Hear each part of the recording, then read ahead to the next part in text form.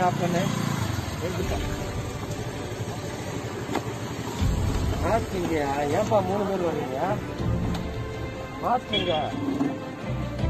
பஸ்ல மாஸ்க் இல்லைன்னா என்ன நடக்கும் தெரியுமா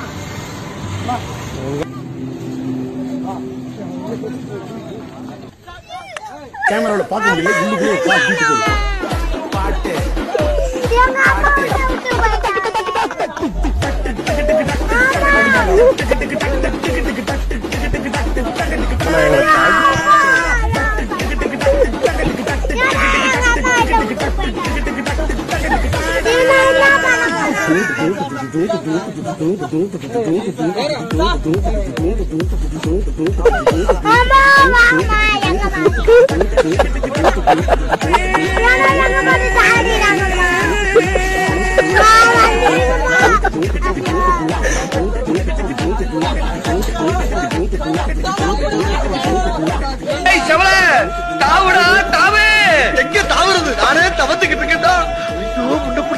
புண்ண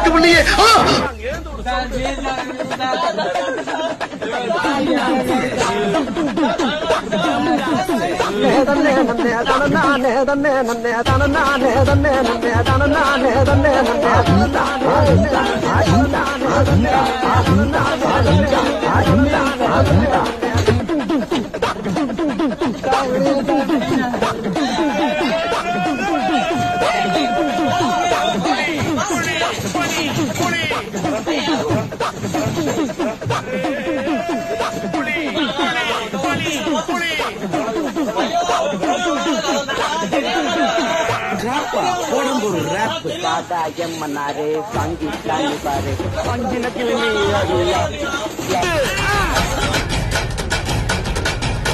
திருப்பூர் மாவட்ட காவல்துறையின் ஒரு அன்பான வேண்டுகோள். இப்போ நீங்கள் பார்த்தது இந்த பசங்க வெளியில் சுற்றிட்டு இருந்தாங்க. நாங்கள் டியூட்டி பார்க்குற போலீஸ் அவங்கள நிப்பாட்டி மாஸ்க் இல்லாமல் வந்தவங்கள நிறுத்தி எங்கே வரீங்கன்னு கேட்டோம்.